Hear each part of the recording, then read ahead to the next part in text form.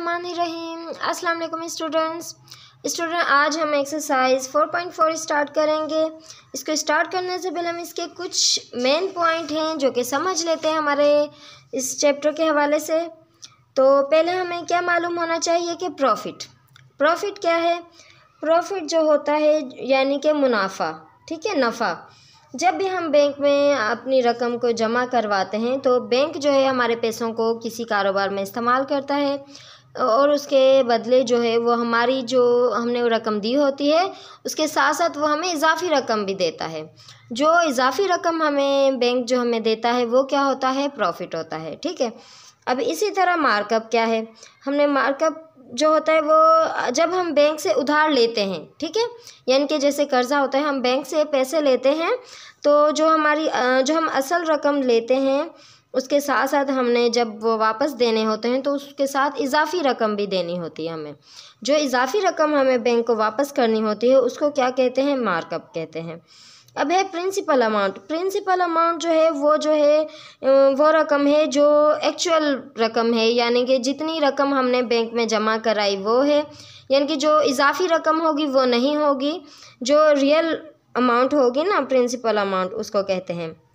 यानी कि जो बैंक में हमने रकम जमा करवाई है या जो बैंक से हमने रकम निकलवाई है, वो क्या होगी? प्रिंसिपल अमाउंट होंगी। ठीक है? उसके साथ जो इजाफी चार्जेस होते हैं, उसको इसमें काउंट नहीं करते।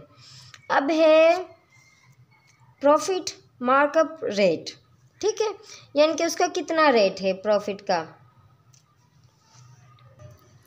यानी कि बैंक देखेगा कि हमने जो रकम उनको उनको जमा करवाई है या उनसे ली है, उसमें कितना उनको प्रॉफिट हो रहा है? यानी कि हमने जो रकम उनको जमा करवाई है बैंक में, उससे उनको कितना मुनाफा हो रहा है? तो उसके हिसाब से वो हमें, उस परसेंट के हिसाब से हमें देते हैं कि हमें परसेंट बताई जाएगी कि इतने परसेंट आपको मुनाफा दिया जाएगा, आपकी जो असल रकम है। ठीक है? अब है उसके बाद पीरियड पीरियड यानी कि टाइम कितनी मुद्दत के लिए हमने जो रकम है वो जमा करवाई है, वो भी बहुत अहमियत रखता है। यानी कि अब, मुनाफा भी है, वो भी टाइम को भी हिसाब में रखते हुए हमें मुनाफा दिया जाएगा। और, या फिर जो मार्कअप होगा, हमारी जो रकम की कटौती होगी हमें जो इजाफी चार्जेस देने होंगे, वो भी टाइम के हिसाब से ही दे देने होंगे, ठीक है? अब हम बढ़ते हैं अपने एक्सरसाइज की जाने। अच्छा जी तो अब ये हमारा पहला सवाल है।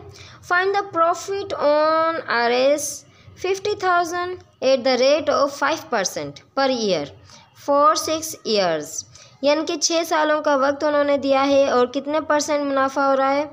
पाँच फ़ीसद मुनाफा हो रहा है और जो अमाउंट है, जो रकम है, वो है पचास हज़ार। अब हम इसको सॉल्व करते हैं। तो स्टूडेंट्स पहले हम डेटा बनाएँगे। तो प्रिंसिपल अमाउंट कौन सी हमारे पास? वो है फिफ्टी थाउज़ेंड अब ये रेट कितना है? फाइव परसेंट हमें बताया है उन्होंने, ठीक है? और जो टाइम है उन्होंने बताया है वो है सिक्स ईयर्स अब हमने क्या फाइंड करना है? प्रॉफिट फाइंड करना है, ठीक है स्टूडेंट अब हम इसको सॉल्व करेंगे।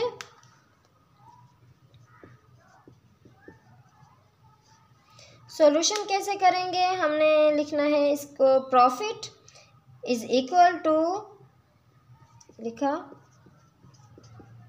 profit is equal to principal amount multiply by rate multiply by time ठीक है, हमने इन तीनों को आपस में मल्टीप्लाई करना है। P means principal amount rate mean R means rate T means time ठीक है, अब हमने यहाँ पे इनकी वैल्यूज़ पुट करनी है, जो इसका प्रिंसिपल अमाउंट है, वो है फिफ्टी थाउज़ेंड। उसको मल्टीप्लाई करना है फाइव परसेंट। फाइव परसेंट को कैसे करना है, यानी कि five divided by hundred. Percentage क्या है? हंड्रेड से होती है तो इसलिए फाइव को हम डिवाइड कर देंगे हंड्रेड से। फिर मल्टीप्लाई कर देंगे। जो टाइम टोटल कितना है, सिक्स ईयर्स है तो हम सिक्स से मल्टीप्लाई कर देंगे।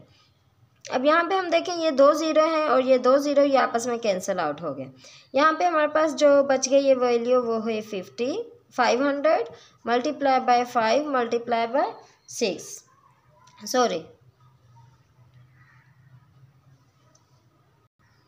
तो स्टूडेंट्स अब जब हम इन तीनों वैल्यूज़ को आपस में मल्टीप्लाई करेंगे तो हमारे पास आंसर आएगा फिफ्टीन थाउज़ेंड ठीक है?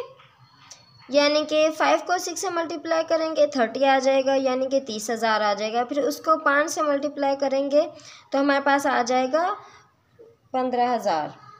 ठीक है, तीस हज़ार नहीं, तीन हज़ार आएगा, जब पाँच सौ को छः से मल्टीप्लाई करेंगे। फिर हम पाँच से मल्टीप्लाई करेंगे तो टोटल हमारे पास आंसर आ जाएगा पंद्रह हज़ार। यह है इसका आंसर इसी तरीके से इसका अगला सवाल भी सॉल्व होगा। वो भी हम सॉल्व करके देखते हैं। क्वेश्चन नंबर टू को भी हम पढ़ लेते हैं। Asad borrowed Rs 25,000 from a bank at the rate of 8% per annum for four years. ठीक है? Find the markup of the bank Asad ने जो बैंक से उधार लिया है वो पच्चीस हज़ार है और जो उसकी कटौती होगी वो होगी मार्कअप जो उसका होगा वो होगा आठ फ़ीसद होगा। ठीक है? और उसने कितने अरसे के लिए ये कर्ज़ लिया है? वो है चार साल के लिए। अब हमें बताएँ कि उसका कितना मार्कअप होगा।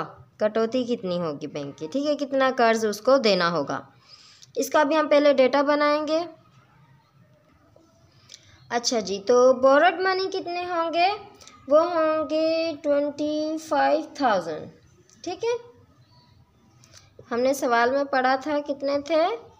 ट्वेंटी फाइव थाउज़ेंड थे और जो रेट कितना है? एट परसेंट है। और टाइम कितना है? फोर इयर्स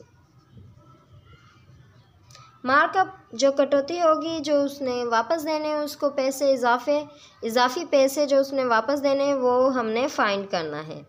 ये भी हम उसी तरीके से करेंगे कि हमने करना है मार्कअप इज़ इक्वल टू जो बोरड मनी है मल्टीप्लाई करना है रेट को मल्टीप्लाई करना है टाइम से, ठीक है? अब जो रेट है, वो क्या है? एट परसेंट है तो इट मीन्स ये कितने हैं? ज़ीरो पॉइंट ज़ीरो एट ठीक है? इसको जब हम फ़ीसद निकालेंगे या फिर ऐसे भी कर सकते हैं, जैसे हमने पहले क्वेश्चन में किया था, ठीक है? तो जी इसको हमने इनकी वैल्यूज़ को पुट करना है ट्वेंटी फाइव थाउज़ेंड है। मल्टीप्लाई बाय रेट कितना है? ज़ीरो पॉइंट ज़ीरो एट है। मल्टीप्लाई करना है टाइम से फोर ठीक है, जब हमने इन सबको आपस में मल्टीप्लाई किया तो हमारे पास आंसर आया है एट थाउज़ेंड ठीक है? आर एस, ये है हमारा आंसर